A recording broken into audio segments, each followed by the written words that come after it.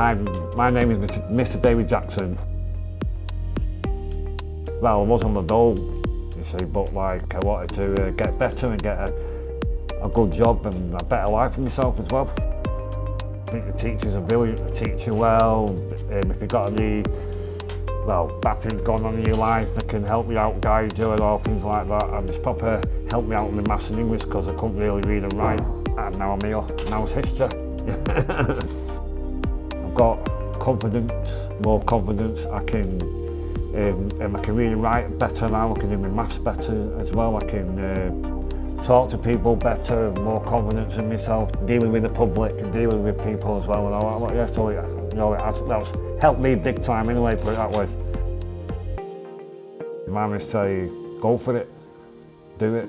But all it needs is just one step.